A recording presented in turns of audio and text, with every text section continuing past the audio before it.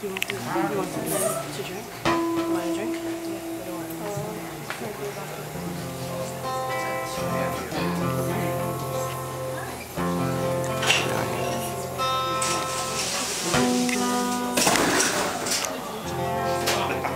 So thanks everyone for listening. My name is Debbie Miller with the Yeah, Debbie. So this next song is a song that Leah and I wrote together, and it's called by Inch. Color me in however you like. It may be